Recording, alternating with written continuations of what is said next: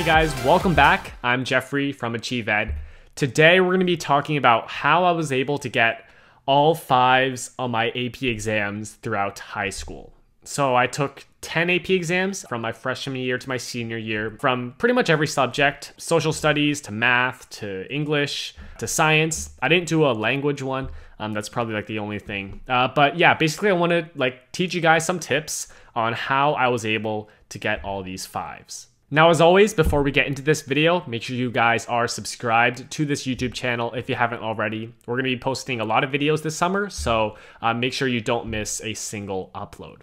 Okay, so the first thing I want to tell you guys is don't use the textbook.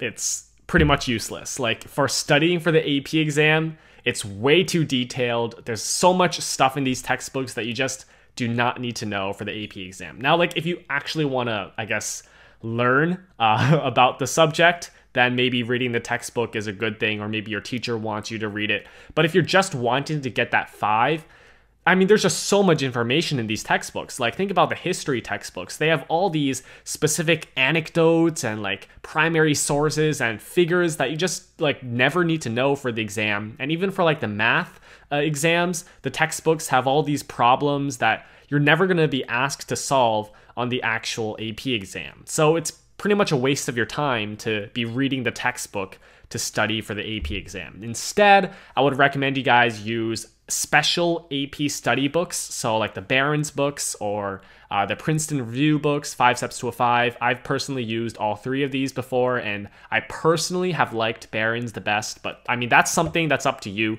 But any of these kinds of AP review books are infinitely better than just reading through the textbook. Okay, so the second tip I want to give you guys is actually kind of related to what I just said.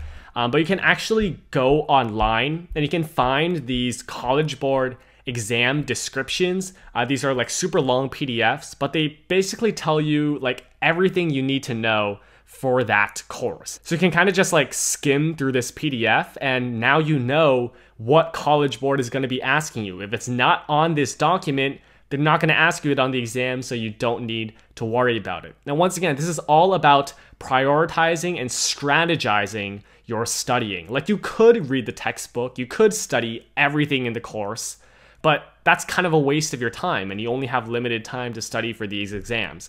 A better use of your time, especially if you're somebody like me who likes to, you know, kind of procrastinate the studying, um, is to focus on what you need to know most. And uh, you can do that through the AP review books that I talked about earlier. And you can also do that through these College Board exam descriptions. I forgot to mention, but these are super easy to find. Like you literally can Google it, uh, say the name of your AP course, College Board exam description. You're gonna find the PDF right there online. Okay, now I wanna talk about what I think is the best way to study. Um, for me, that is definitely practice exams. You can read all you want about how to write an essay, or you can look at a hundred math problems and see how they solve it.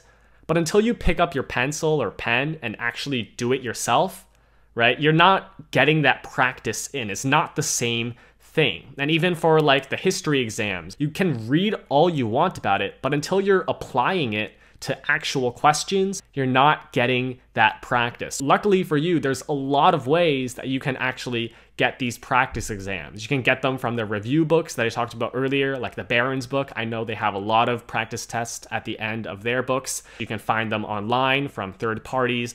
But what I think is the best way to get practice tests is actually through your teacher. Your AP teacher has access to these secured practice exams that you can use in the classroom. And these practice exams are directly from College Board. So College Board literally like takes previous year's questions and slaps them into these practice exams and sends them out to all the teachers. So taking these practice exams from College Board basically prepares you for the actual exam because the questions are so similar. And even for the third party practice tests, those are still pretty good as well, although they're not like 100% reliable because, you know, it's not from College Board themselves. Bottom line, get in a lot of practice. I used to do like one practice test every couple days in the weeks leading up to the AP exam. And sometimes my teacher would actually have classroom time to do these. Now, jumping off what I just said, another way that you can really get your practice in is actually through the publicly available FRQs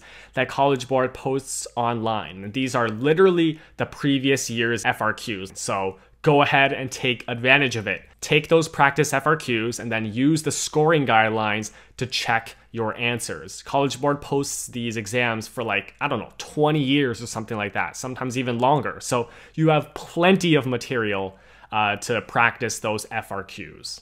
And speaking of scoring guidelines, definitely know the grading of rubrics. Know what gets you points, know what you need to include in order to receive points, know what not to include, uh, that'll get points taken away, right? You gotta know these rubrics because with these exams, it doesn't matter, I mean, how much you write or how eloquently you write it. It's just about did you have this? Check, gets a point, right? If you don't have it, no point. That's just how it works. So know the grading rubrics. For example, for a lot of the tests that have like essays in them, they want a thesis in there. And if you don't have a thesis, no point for you. And another example in math, they want you to show all your work, write down all your steps, and then finally get to your final answer. And another thing, I think for the calculus exams, they specifically want you to include three decimal points uh, you know, for any non-integer answer. So just knowing these things is really important because you want to rack up the points. That's how you increase your score. That's how you get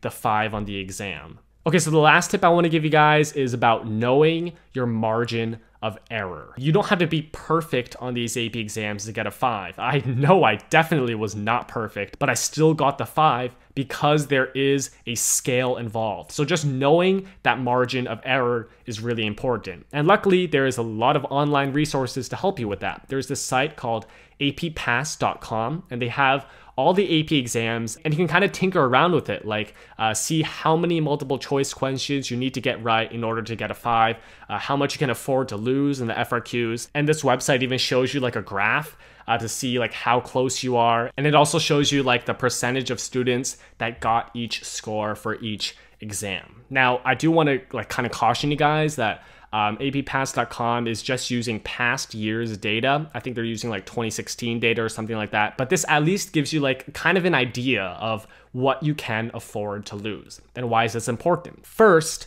uh, you can know where you need to focus your studying. So if you realize that for an exam, you can get like half the multiple choice wrong and still get a five, then you know the multiple choice is not that important. You should focus your time on the FRQs. And the second reason that using appass.com is important is because you can kind of focus your studying between exams as well. So if you notice that, you know, AP macro has like a, I think it's like a either 15 or 20% five rate, something very high like that, then you know generally the exam probably is a little bit easier. On the other hand, Physics 1 has like a 4% 5 rate.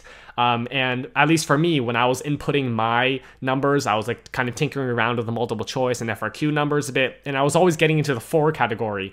Um, so I had to spend a lot of extra time studying physics. Now, maybe that's just me. Maybe, you know, I'm not a science person, which kind of is true. Um, but still, like, uh, that's something that I had to determine for myself. So that's how I knew I needed to study a lot on physics and not as much on macro. Okay, so I think I've pretty much covered everything that I wanted to say. These tips have kind of been what I've been doing uh, for the past four years. This is how I was able to get 10 fives on my AP exams. And of course, there's a lot of other generic tips that I didn't say, like uh, study a lot, um, like uh, don't procrastinate, like generic stuff like that. But I wanted to get really down in the nitty gritty and talk about like specific things that were important to me and how I was able to get those fives. Okay, so that is going to be it for this video. Do hope you guys enjoyed this one. Go ahead and give it a like if you did. And also make sure you guys are subscribed to our channel if you haven't already. We're going to be posting a lot of college advice videos throughout the summer, so you do not want to miss a single upload. Okay, so until next time, I will see you guys later. Peace.